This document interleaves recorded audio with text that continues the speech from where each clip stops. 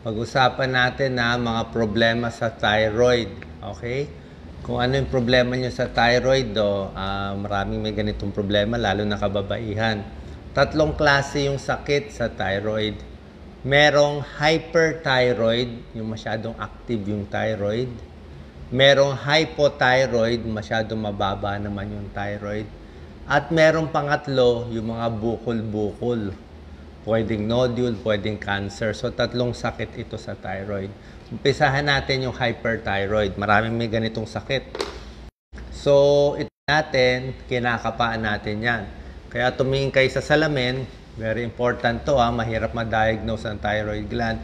Tingin kayo sa salamin, kung may napapansin kayong bukol-bukol o parang lumalaki, tumataba-taba dito, eh thyroid gland yon tapos hinahawakan dito, tapos lulunok. Pag lunok, kung merong gumagalaw o napansin ng kapatid o kaibigan mo na lumalaki, posible goiter yon lumalaki yung thyroid. Okay, so check your neck. Lalo na kung may mga bukol-bukol, mas masama mga bukol ha. So tatlo yan, hyperthyroid, hypothyroid, mahina, at merong mga bukol. Yun yung pangatlo. Ayan hyperthyroid muna tayo. Lumalaki na sobrang active. Ang trabaho ng thyroid gland natin ay siya yung pinaka parang accelerator. Accelerator siya baga sa kotse. Siya yung taga-timpla ng bilis ng kotse. Okay? So, pag hyperthyroid, sobra ka sa thyroid hormones, mabilis lahat yung katawan mo. Anong klaseng bilis? Ito, pag malala o lumalaki yung mata, yan ang complication ng uh, hyperthyroid. Ang hyperthyroid, mabilis. Mabilis ang heart rate, sobrang lakas ang kabog. Okay? Mabilis yung isip. Uh, mainitin ang ulo, laging galit. Konting uh, makausap lang, iba na iniisip. Parang nagpa-panic attack, parang nervous na nervous. Ang bilis ng heart rate niya eh. Okay? feeling niya parang minsan parang mamamatay na siya. Yan ang lagi sinasabi. Parang mamamatay na ako, hyperthyroid. Pag matutulog, kabog ng kabog yung dibdib, pati yung baro, uh, tumatalon. Pag pinahawak mo ng papel ang hyperthyroid, ganito yung test ng hyperthyroid, papel. Ang hyperthyroid, nanginginig yan. Gumaganyan yan. Pag umahawak ng cellphone, nanginginig sila. Mabilis rin ang bituka bituka mabilis. Ibig tae siya lang tae. Uh, bawat kain dudumi. Bawat kain dudumi. Three times dumudumi. Mabilis. Pa, init na init. Uh, ibang tao hindi iniinitan, naiinitan kahit aircon naiinitan, namamayat. Kasi sobrang bilis ang metabolism ng accelerator, namamayat sila. Papayat sila 5 pounds, 10 pounds kahit anong kinakain nila. Hindi rin makatulog. Okay? Yung iba natutuwa pumapayat pero hindi po maganda. Kasi pag hinayaan mo yung hyperthyroid sa sobrang bilis, pwede magka-heart failure, thyrotoxic heart disease. Yan ang komplikasyon. Marami sa nakikinig ngayon posible may hyperthyroid kayo, hindi nyo lang alam. Baka ang sintomas nyo lang pinapawisan, hyperthyroid pala. Sintomas nyo mainitin ng ulo, parang laging galit na galit, hyperthyroid pala. O anxiety, uh, nanginginig yung kamay, malakas ang kabog ng dibdib, hyperthyroid pala. Okay? So, para malaman ito, ipapacheck ang T3, T4, TSH. T3, T4, TSH. Pag nalaman hyperthyroid, gagamutin agad. Kasi pag hinayaan to, thyrotoxic heart disease, komplikasyon sa puso, humihina ang puso, 3 months, 6 months mo pabayaan, delikado may na humihina yung puso, may namamatay. So, ayan, no? Lagi naiinitan, pawis na pawis, taas ng blood pressure, taas ng heart rate, nagtatae, hindi nire-regla, okay? Yan ang mga complication natin ng hyperthyroid. So, ang resulta ay mataas ang T3, T4 pag hyperthyroid ka. Yan. Pwede rin magpa-thyroid ultrasound. Ito naman, Thyroid ultrasound, usually pang ano to, eh, pang bukol, pang cancer to. Either may nodule, o, pero pag hyperthyroid, minsan wala naman nakikita. Merong iba, may bukol, may cancer, kaya nag-hyperthyroid, kaya pinapa-thyroid ultrasound. I-check lang na walang mga bukol-bukol na nakatago. Tatlo ang gamutan kung hyperthyroid. Comment po kayo kung anong gamot nyo. I'm sure nababasa ko na comment dyan, mga may metimazole, carbimazole, PTU, tatlong gamutan, three choices. Number one, tableta either metimazole, tapazole, carbimazole, PTU bibigay. Second option, RAIU, radioactive iodine. May iniinom ka na radioactive material, parang niluluto o sinisira niya yung thyroid mo para hindi ka na mag-hyperthyroid.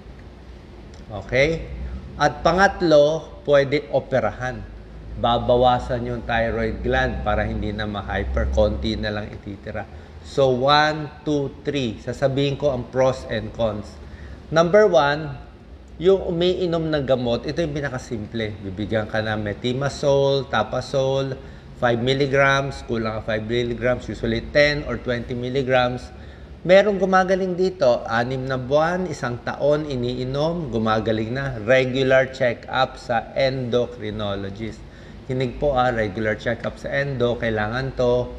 Advantage, mabilis, tableta lang, pwede gumaling agad.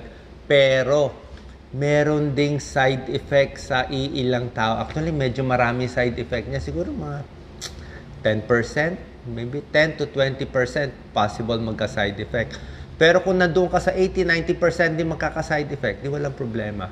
Di ba? Pero pag umiinom kayo ng metimazole, carbimazole, PTU para sa thyroid, may babantayan kayo. Tingnan nyo, nagra-rush ba kayo?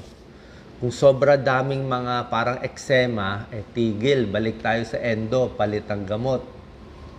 Arthralgia, sakit ng mga muscle. Isa sa delikadong side effect ng mga thionamides, isang delikadong side effect ito, agranulocytosis babagsak ang white blood cell. So yung mga sundalo ng katawan natin, white blood cell, panglaban, pampalakas ng immune system natin, kumokonte. Kung ang white blood cell dapat 5,000, 10,000, babagsak yan sa 600 na lang white blood cell mo. Pag bumagsak white blood cell mo, wala ka ng defense, magkakasingaw, magkakasakit, magkakalagnat, magkakapulmonya, delikado. Isa yan sa possible side effect lang 'di ba? Pero sasabihin niya, ba't binibigay ba't pa, pa ito doc ang daming side effect? Eh, hindi naman lahat nagkaka-side effect. 'Di ba? 80 to 90% hindi naman nagkaka-side effect. 80 to 90% ng tao masaya. Yung 10 to 20% na may side effect, lilipat tayo sa radioactive iodine or surgery. Kasi pag tinigil natin yung gamot, eh lahat puro radioactive. Lahat puro surgery. Gusto nyo ba agad ito? Radioactive iodine, mas mahal to. I think, I'm not sure how much ha. Ah. Dati mga 20, 30,000. Maganda rin yan, permanent resolution. Pag may side effect ka sa tableta, dito ka radioactive. Kaya lang, uh, meron ding problem minsan. Siyempre, may radiation, ma may small chance lang naman, small chance ng oncogenic, which is cancerous may konting chance tumaas yung cancer risk mo. Pwede ka rin ma-hypo kasi syempre pag radioactive usually mas nauubos niya yung hyperthyroid mo, mag-hypo ka naman. Pero mas okay na yung hypothyroid ka dahil ng radioactive ka kumpara sa hyper. Yung hyper sobra bilis baga sa kotse eh. Imbis na 80 kilometers per hour ang takbo, magiging 160 kilometers per hour. Sobrang bilis. Kung hypo ka, babagal yung takbo ng kotse mo, parang 20 kilometers per hour. Mas madali na gamutin yan, may gamot na lang. Ha? Surgery, syempre hindi naman lahat gusto magpa-opera agad. Sino pinapa-opera? Yung mga may halong bukol. Kung may duda tayo, baka may thyroid cancer o, o kung masyado malaki na nahirapan na lumunok. O di ba medyo nagbabara dito yun, inooperahan siya. Pero ang opera, hindi rin totally safe. Pwede mawalan ng boses.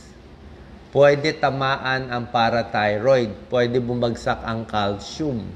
Meron din siya mga Nakita niyo lahat may pro and con, pro and con, pro and con. Kaya pag titignan to, pinakasimple, tableta muna. Bantayan na lang tong side effect. Yan ang hyperthyroid, ah. kailangan ipapacheck. Basta yung sintomas niya, mahirap malaman. Parang kinakabahan, balisa. Check nyo lagi, T3, T4, TSH. Pag abnormal yan, pag abnormal yan, pa-check sa endocrinologist. Pag nagamot ang thyroid, halos almost permanent cure yan. Okay? So ito yung gamot ng PTU, 50 milli, uh, PTU 50 milligrams ang dosis 3 times a day. Metimazole 5 milligrams to 20 milligrams. Follow up binabantayan uh, usually 1 to 2 years ang gamutan. Pag na-control na binababa na yung dose. Okay? Mamaya pag-usapan natin ano ang pagkain sa hyperthyroid. Okay?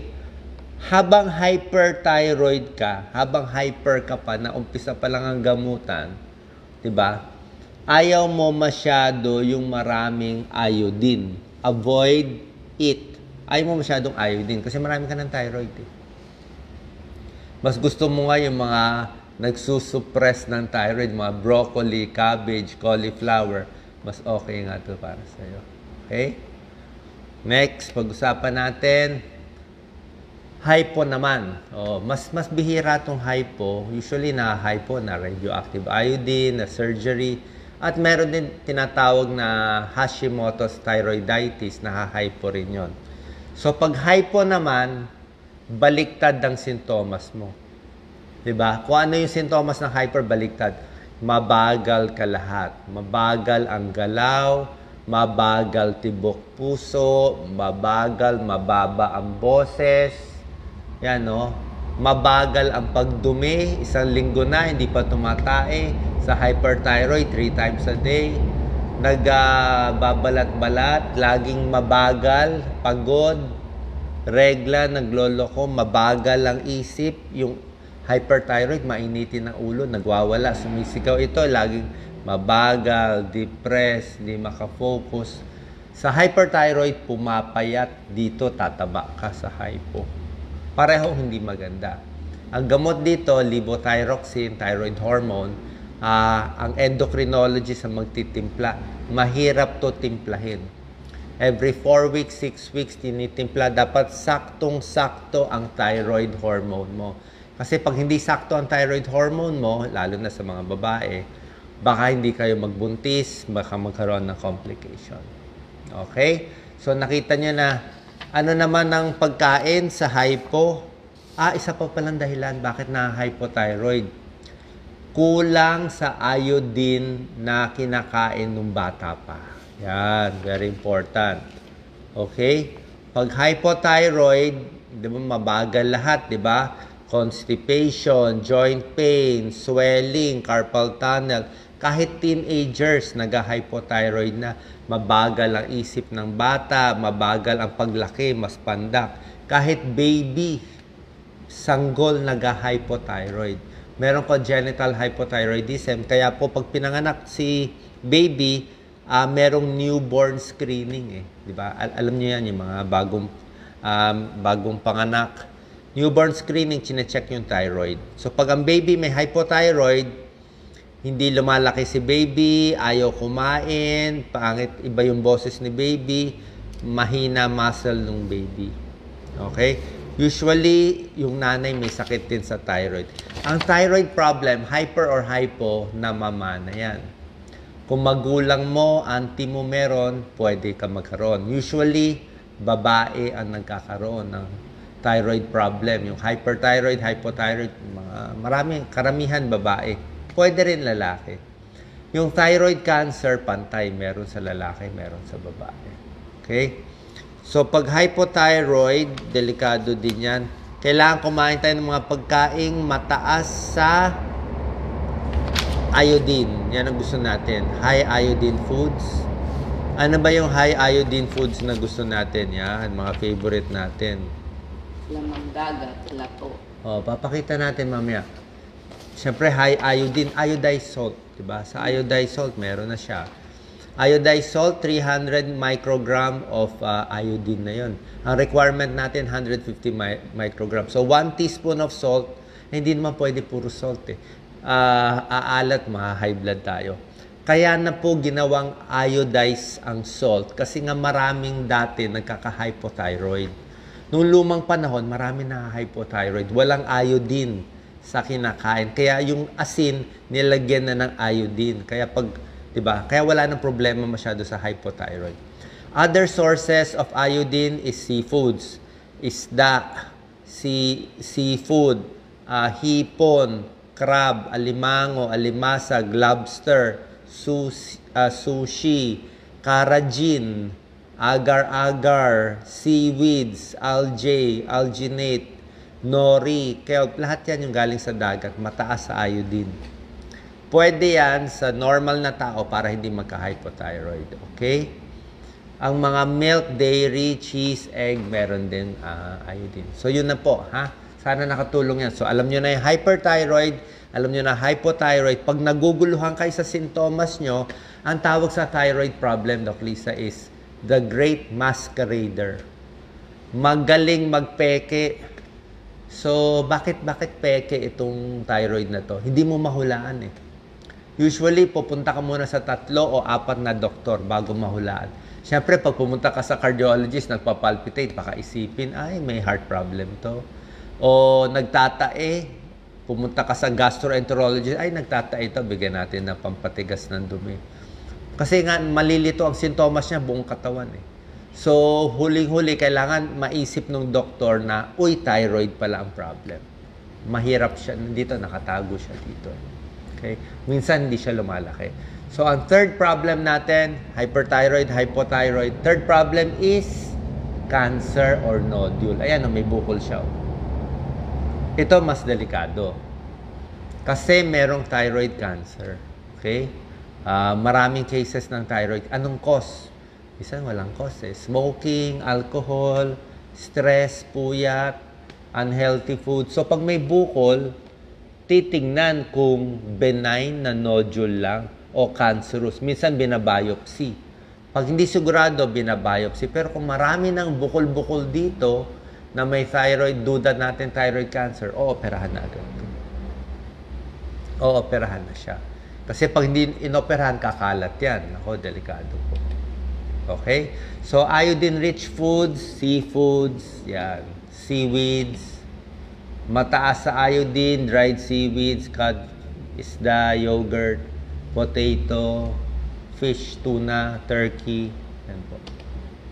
Okay? Iodine-rich foods, kailangan yung mga vitamins na kailangan natin, exercise, marami ding mga vitamins na kailangan.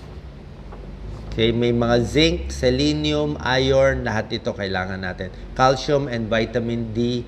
Pag hyperthyroid kasi bumabagsak yung ah, calcium and vitamin D. Nagiging brittle at mahina yung buto. So, kailangan mo ng calcium supplement and vitamin D supplement kung hyperthyroid. Okay, sana nakatulong tong ah, video natin. Malalim na explanation ko. ah. Hyperthyroid, hypothyroid, thyroid cancer, papacheck sa endocrinologist. Huwag babaliwalain. I'm sure marami nanonood sa atin, lalo na yung mga kababaihan. Kala nyo lang, ano ba itong sintomas ko? Bakit ganun ang nararamdaman ko? Ah, kailangan magduda tayo. Okay? Baka minsan hindi maisip ng doktor eh. Oh, Usually mahirap to mahuli. Kayo mismo pasyente, alam nyo katawan ninyo, di ba? Alam nyo na may iba. Kung duda nyo may iba, ganito ang sintomas nyo. Ayan, no? Hyperthyroid symptom. Ayan, no? Infertility, naiinitan, bilis ng heartbeat. Kala mo nervous ka, hindi ka naman talaga nervous. Baka thyroid problem. Pag si Mrs. lagi inaaway si Mr., lagi binabato si Mr., di ba? Baka hindi lang tungkol sa regla yan, baka hyperthyroid siya. Di ba? O, Wag na intayin na lumalayo sa mata. Pag mabagal naman lahat, hypothyroid. So, ang daming sintomas, ang hirap malaman, ang simple lang, pa-check ang T3, T4, TSH, huli agad itong sakit para gumaling, para humaba ang buhay. Salamat po.